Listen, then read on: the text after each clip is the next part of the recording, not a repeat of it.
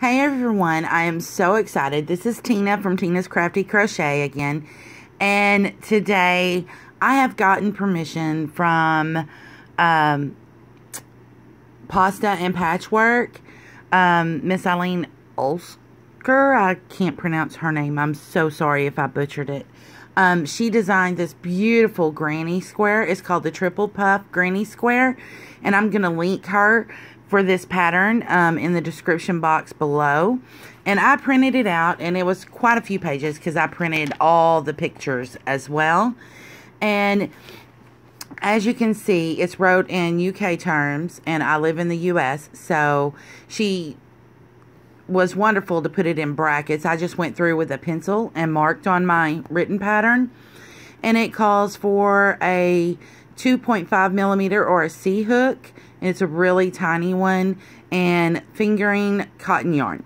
Well, I wanted a slightly bigger square, so I went with a different yarn weight and hook, but I am following her directions completely. And I am going to be using, as you can see, my skeins are kind of already all whopper jawed because I could not wait. I had to, you know, get right in there and, you know, work on it. But I'm using a G, which is a 4.25 millimeter hook. If you can see that. There we go. And of course you will need scissors or snips and yarn needles. You'll also need those. Um, the, the yarn I'm using is I Love This Yarn from Hobby Lobby and I am using Glacier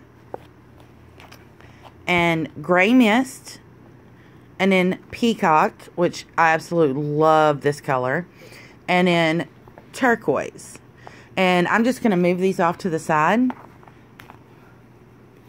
real quick and we are going to get started. Now, this is what one of my looks like, one of my squares. And um, I'm going to do a big Afghan with this, sort of like a cathedral window. And I've done uh, four different combinations in the mix and then solids of each of the four colors. And I'm going to mix them up and make them all kind of fancy. But my um, square, instead of being 4 by 4 like the pattern gauge says. Mine are six and a half by six and a half. But this is what we're making today. I'm so super excited. So let's get started.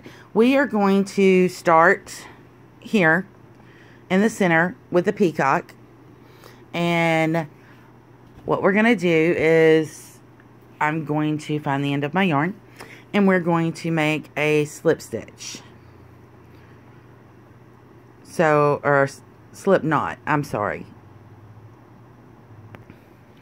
Okay, so we have our slip knot made and we're going to insert our hook and pull it tight and we are going to chain six and it's one, two, three, four, five, six. Now we have our six and we are going to slip stitch into this very first chain that we made. So we yarn over, pull through, and then pull through again. And this makes a little hole for us.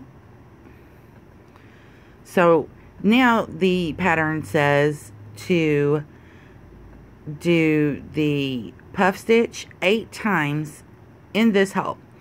So I have a video of the puff stitch. Um, this is the triple puff stitch. And normally in a puff stitch you only uh, yarn in and go in twice. And you'll see what I'm fixing to talk about. Um, but with this one we're doing it three times. That's why it's called a triple. So I pull my loop up just a little bit because I want my puff stitch to be kind of tall. And then I yarn over.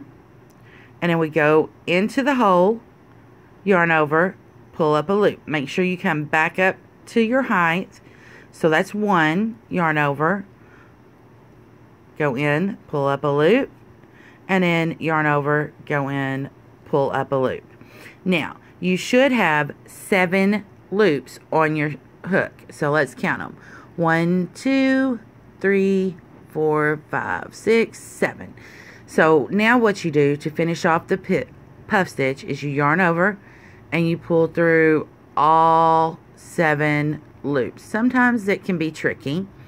And then to secure it, you chain one. And you do the chain one after each puff stitch. So let's do some more. Let's go.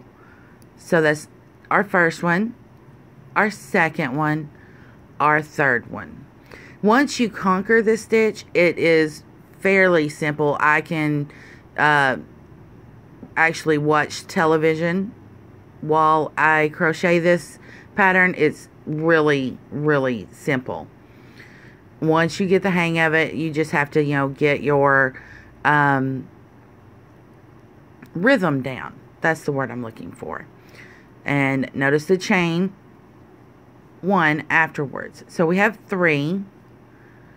And let's do this again. Two and three. That makes four. And you just, you know, scoot them around on that chain if you need a little more room. Because they will be kind of close together. So that's one, two, and three and then pull through all three and chain one. So let's go one, two, and three, and pull through. Oh, I may be hung up. And see that? That sometimes happens. And since this is crochet, you just pull it out and try it again. That's the beauty about crochet. If you mess up or get hung or, you know, some catastrophe happens, just frog it, take a deep breath, and keep going. Unlike when I knit and I drop a stitch, I have to take out the whole thing because I can't ever fix it. So I have a lot more patience with crochet. So we have one, two, three, four, five, six. So we need two more. Yarn over, in through the hole, yarn over, pull up a loop. Yarn over, in through the hole, yarn over, pull up a loop.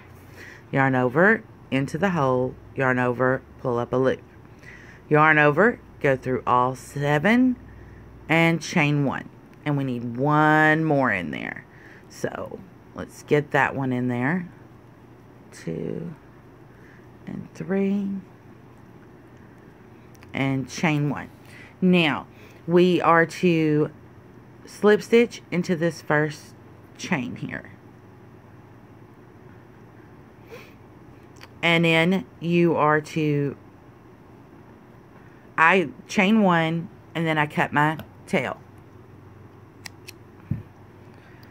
and pull it through and that locks it in because now we're moving to the next color which is going to be our gray mist so that's your first circle and let's take our gray mist and we make a slip knot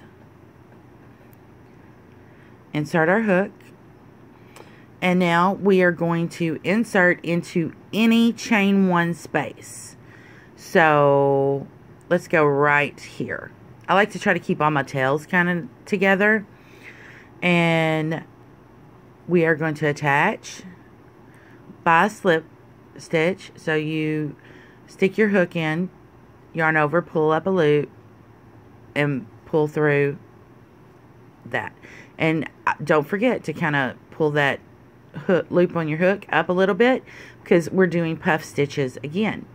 This is our first increase and we are going to put two puff stitch into each chain. So yarn over, pull up, yarn over, pull up, yarn over, pull up yarn over, pull through all seven, and chain one. And then we're going to put another one in that same exact place, right there.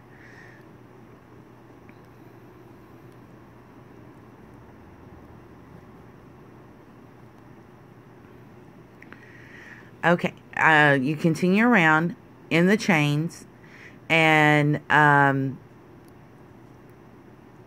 you yarn over and go into your next chain one space and do your next puff stitch. Remember to do two in each chain one space and I will meet you back around and join. Okay, we are ready to do our last puff stitch and we're just going to go in and do that and chain one and then we're going to slip stitch right in the top of that first chain right there and I'm going to chain one and cut and I like to leave a pretty good tail so I can sew it in because I like to sew three different directions back and forth so it doesn't come out real easy. And next, we're doing our final increase round of puff stitch and we will be using the glacier and we're going to start it the same exact way with a slip knot on our hook and you see how we have our V's and in our open spot, we're going to attach into this chain in between the pairs with a slip stitch.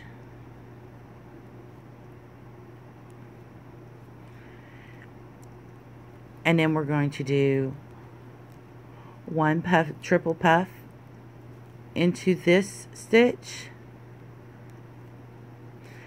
And then in the V there's a chain right there. What we're going to do is we're going to put two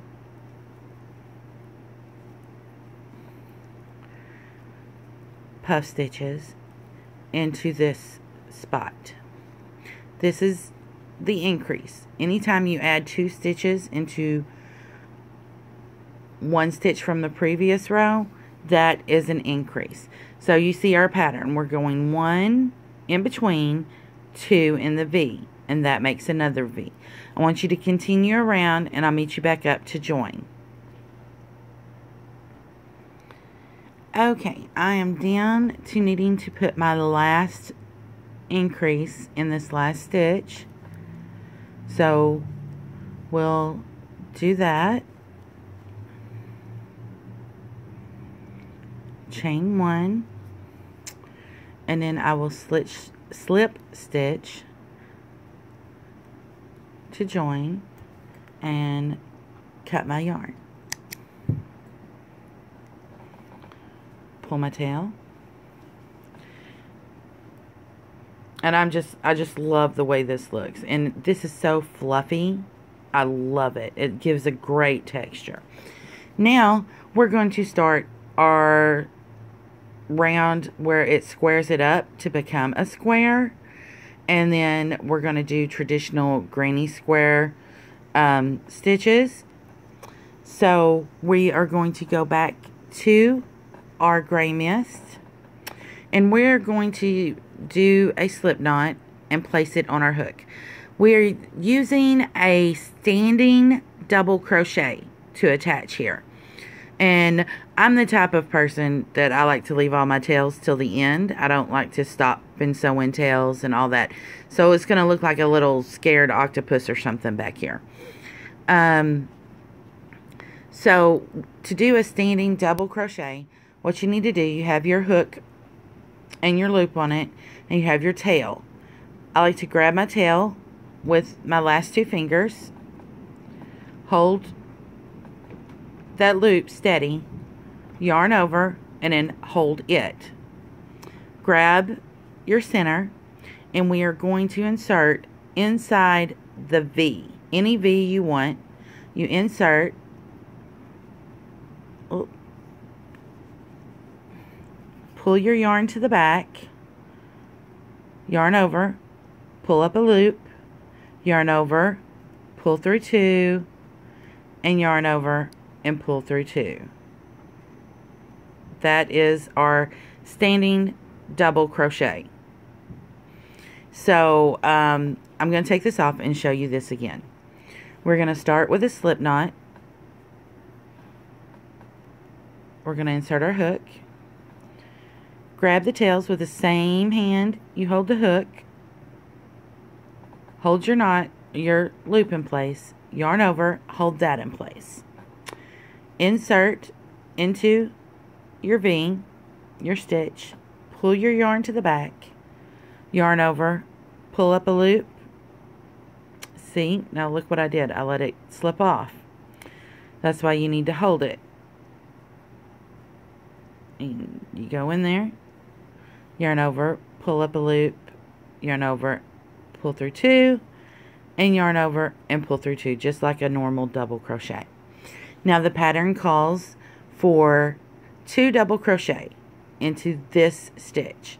So we're going to do that and then we will chain one and we are going to skip this one and go into the center of the next V and we're going to put three single crochets. So insert your hook, pull up a loop, yarn over, pull through two. Insert, pull up a loop, yarn over, pull through two.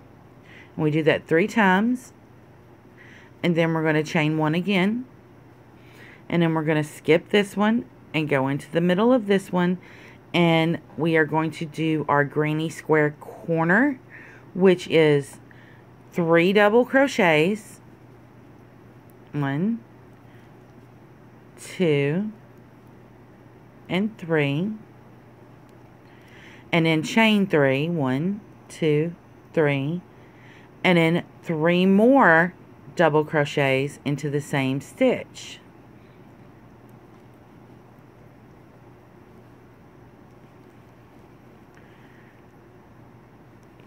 And that makes our first corner.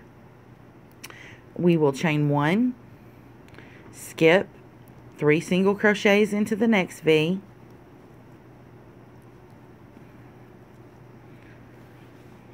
and then we will chain one, skip, we're making a corner here, so we're doing three double crochet,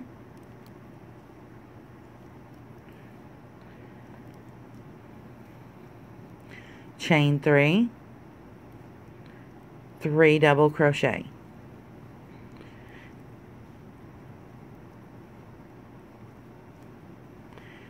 Chain one, and we'll repeat this all the way around, and I will meet you back up before we get ready to join because it will be a little tricky the first time you do it.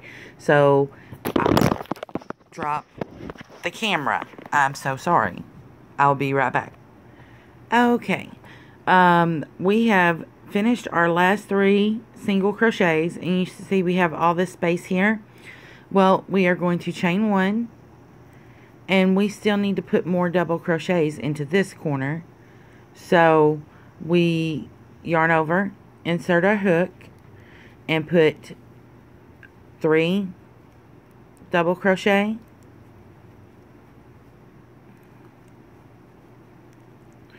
and then our chain three.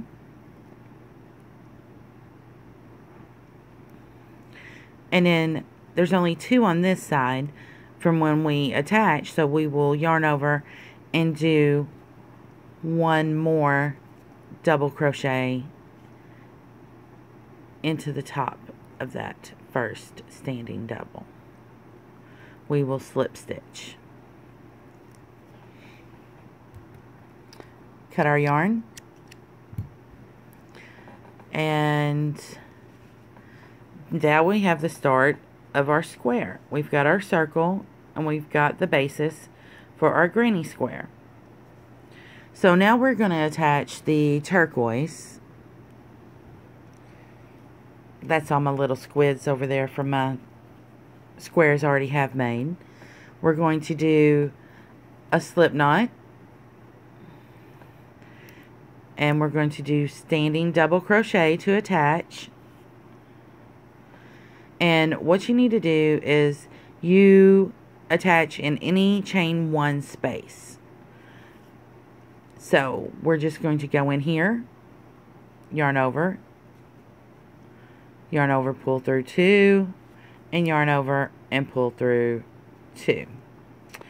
And then we're going to do, just like on the previous round, another double crochet. And then we're going to chain one.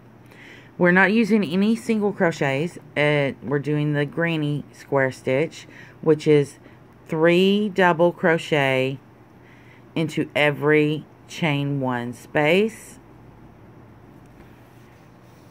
And we will do the three double crochet, chain three, three double crochet into every corner. So that's what we're going to do on this one.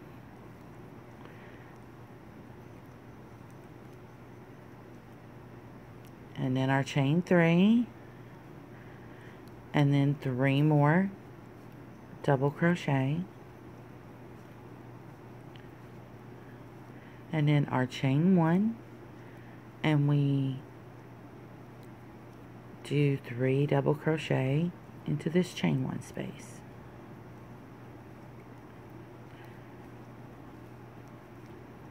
Chain one and we hop right on over to this one. Now you continue this around and I will meet you back up and we will join.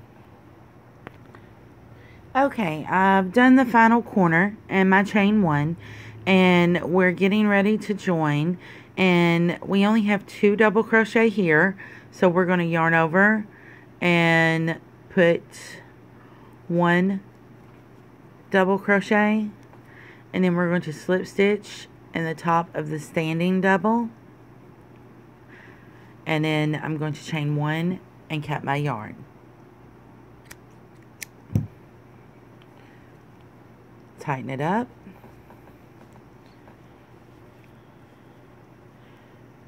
And now we are going to attach the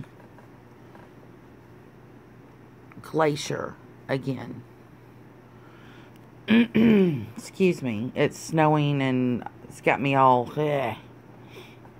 So we're going to do a slip knot. Insert our hook. And we're going to do a standing double crochet to attach into any chain one space. So I'm just going to start right here by the corner. That's my favorite. And we're going to do it just like the previous round. And we'll put two here and chain one. And you'll notice that there are more chain one spaces on this row because we're increasing. So it's done exactly like the previous row and most general granny squares at this point. So I am going to whip this row out and I'll meet you back at we will join on our last color and do our final two rows. Okay, now we're done with that row and you fasten off just like you did the two previous rows and we are going to finish with our border, which consists of two rows, single crochet, and we're going to start with a slip knot. And I like, I found that I like to attach in the chain one space with a slip stitch. And then I'm going to chain one and I'm going to single crochet in that same chain one space. And then in every stitch across so that's one two and three in every chain one space you need a single crochet so this row is really easy.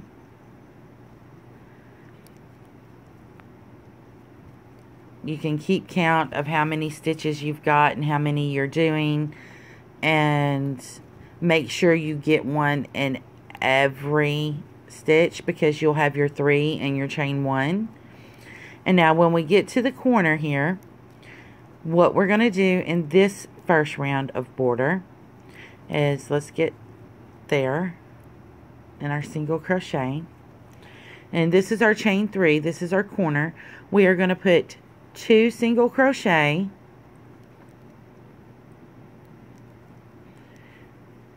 Right there in that corner we're going to chain one and then we're going to put two more single crochet in that same chain space. And then we're going to start down our next side. Now sometimes in the corner that first stitch can hide from you so just pull it around and push it you know like you do when you put a bunch of uh, stitches in a circle starting chain or in a magic ring you just you know manipulate them to where you can find all of your stitches and let's do one more corner and then we will come back and join and I'll show you how to do the corners on the final round. So, we are to our corner again. Pull out a little more yarn. We're going to put two single crochets, a chain one, and two more to turn that corner. And right here is our first stitch on this side. And, you know, it got a little in there, so we just manipulated them over to find it. And you just continue around like this, and I will meet you at the join, and we will do the last row. Okay, I have the last three stitches to go of this row. and now we're going to slip stitch into the top of the first single crochet to join it and then we're going to chain one and single crochet in that same stitch. Now we are going to put one in every stitch around.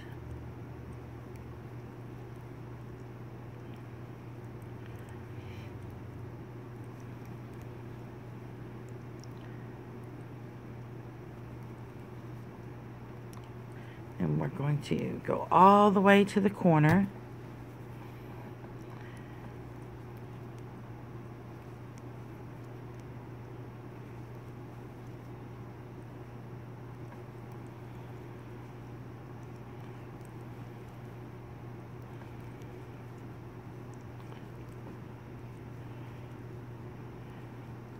Okay, now here's where our corner starts. So this is the first stitch in the corner, the second stitch in the corner, and here's our chain one space. So what we're going to do is we're going to go into that chain one, and we're going to put a single crochet, a chain one, a single crochet, all in that one chain one space. And then we're going to go down the next side.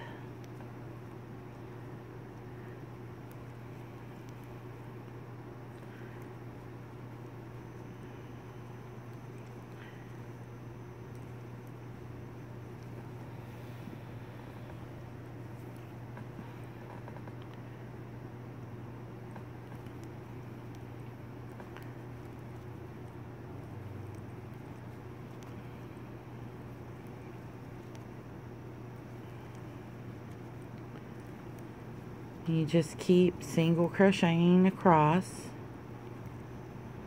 Gives it a nice pretty finished border.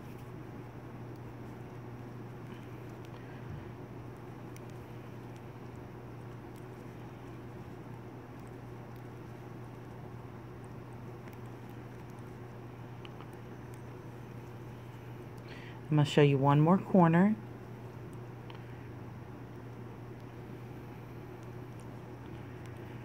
Okay, we then got one and two, and here's our chain one space. We're going to put, let's get in the right spot there. There we go. One single crochet, chain one, one single crochet. And then we're going to do the other two sides just exactly the same. And I'll meet you back up at the join. Okay, I am down to the last three stitches and I am going to join this with a slip stitch like I have every other row. We're going to slip stitch into the first single crochet.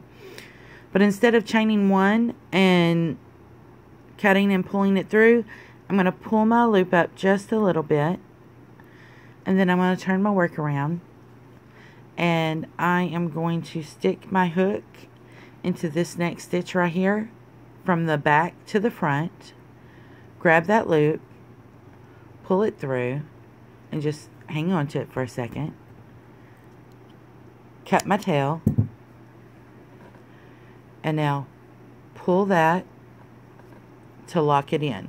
And it's a, like a seamless join. This will help me when I'm building my blanket. It'll make it uh, not as bulky as a knot would be per se.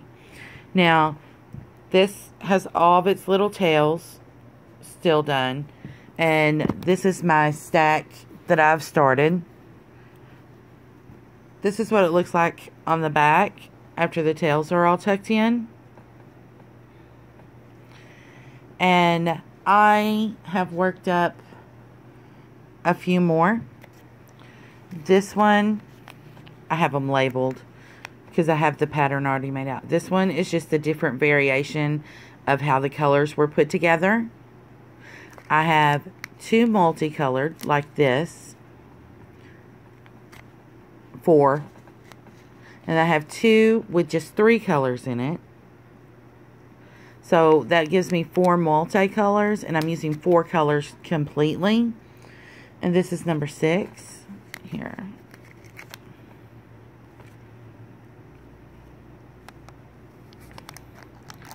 I have to label them so I can put them together with my pattern. And these are just the solid ones. They're still gorgeous. Still gorgeous.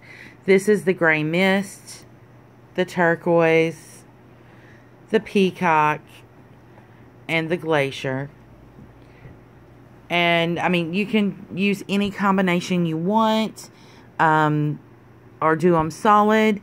Uh, I really think they're beautiful, and especially, you know, together, the solid and the combinations. Um, I'm going to link pasta and patchwork um, in the description box below. And give us a thumbs up and subscribe. And I'll link my Facebook page down below as well. As always, until next time.